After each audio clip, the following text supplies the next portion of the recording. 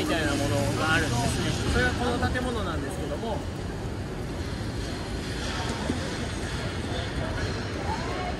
今ちょうど冬物のセールをやってるみたいなんでちょっと今日はこのセンチュリー21を攻めてみたいと思います。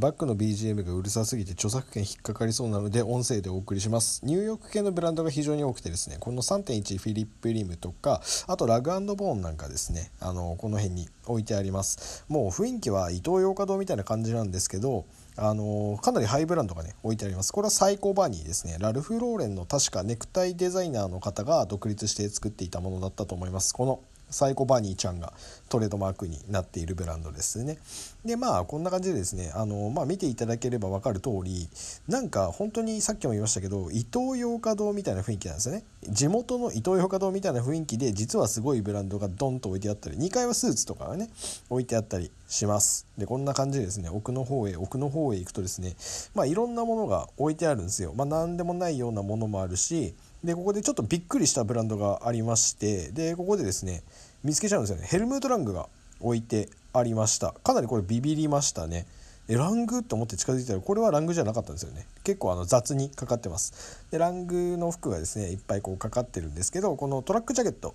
ですね。トラックジャケットがえこれいいやんと思ってですね確かねこれ470ドルぐらいだったんですよ。だけどあの割引がどれぐらいされてるかっていうのがよく分からずですねとりあえず買わずじまいみたいな感じになってしまいました。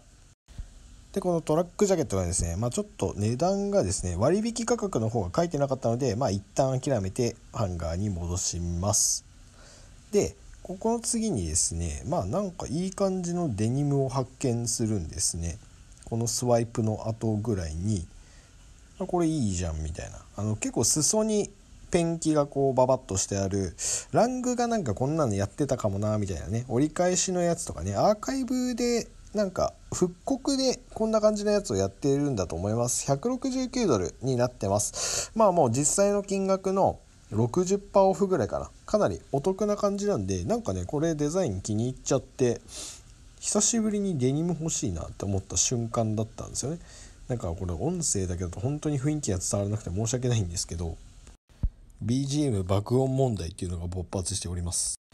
ここでちょっとテンション上がるものを発見しまして、えー、以前ですねロシアンテックウェアすごいよっていう動画を上げたんですけれどもその中で紹介しているクラカトウェアというもののジャケットがありました。これ結構びっくりしましたね。こんな結構マイナーなというかロシアのねテックウェアをまさかねこのような場所で見つけるとはっていうことでなんかこのデザインも面白いしあとフードの作りとかシルエットがすごい良かったです。でこれがですね定価が、700ぐらいだったかな？700ドルぐらいで結局250ぐらいになってたんですよ。税込みで275だからもうほんと3万しないくらいですね。7万5000円ぐらいだったのが3万しないぐらいとかになってます。でこのあの袋がついてくるっていうような感じですね。この辺もほとんどクラカトでした。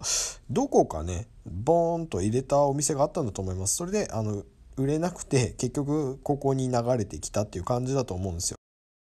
はい。では帰ってまいりました。ホテルの部屋に帰ってきたのでジャケットの紹介をしたいと思います。今日ですねセンチュリー21で買ったのが以前動画で紹介したことのあるこちらクラカトーのジャケットを買いました。これねすごいかっこよかったんですよ。本当に。でですねあのスペックをですねスペックシートみたいなのがあるんで。ではですねこのジャケットのスペックをですね発表いたします。バイオベースファイバーのサスタンスっていうものが入ってます。デュポン社ですね。デュポンってアメリカの会社なんですけど生地の会社っすね。そこの生地を使っていてであの撥水性ですねウォータープルーフの力が5000ですね。5000っていうのはどういうことかっていうと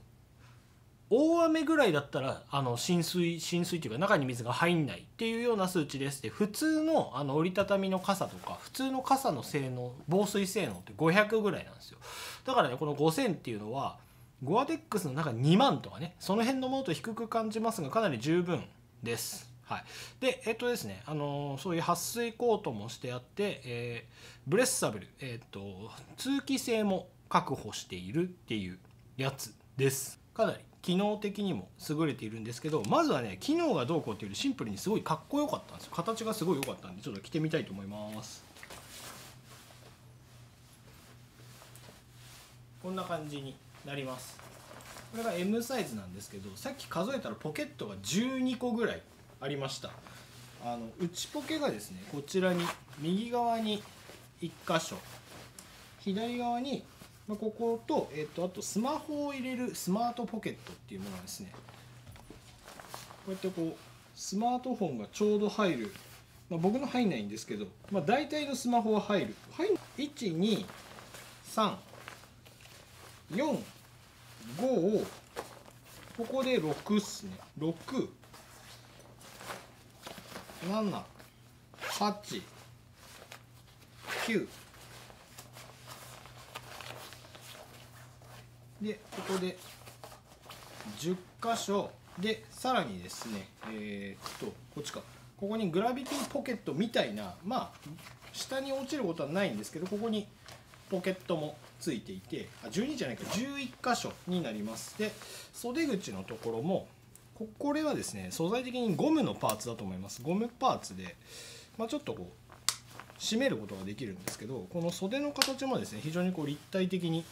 外側が少し長くなってこうカーブしてる形になってます。シルエットがめちゃくちゃ綺麗だったんですよ。あとはですねこのジップを締めた時とあとはまあ締めなくてもですねあの襟のところの生地がすごくしっかりしていてここの生地だけちょっと硬めに作られているのでこうやった時にこうここ結構立ち上がるんですよね。この立ち上がりがここにこうボリュームがあると顔ちっちゃく見えるっていう良さもありますで上まで締めるとかなりねハイネックになるんですよ。で後ろがですねジップでフードが割れるようになってるんでこうファイヤーマンジャケットみたいなね感じで N2B みたいな感じで後ろが割れます。でまあこうやって着るかどうかは置いといて、まあ、こんな感じにもできますっていうねすごくハイテクでかなりかっこよくて。なポケットが多いんであの機能的にも優れているっていうですねこのクラカトの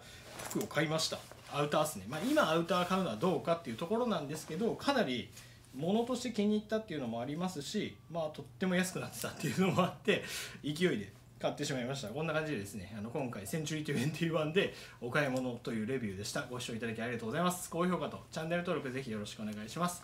Twitter や Instagram やっておりますのでそちらもぜひよろしくお願いします、えー、と3月14日と15日に、えー僕がヘルベシカというブランドをやっておりますが中目黒でポップアップストアを行います。どなたでもお越しください。詳細は概要欄にありますのでよろしくお願いします。失礼します。